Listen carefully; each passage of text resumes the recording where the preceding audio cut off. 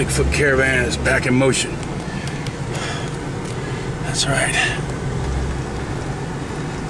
Mitch said it, it looked vertical.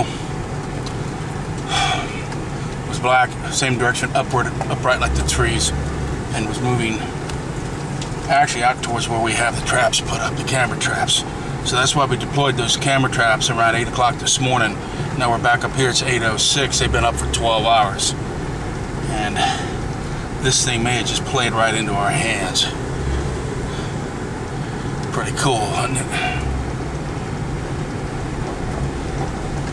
Yep.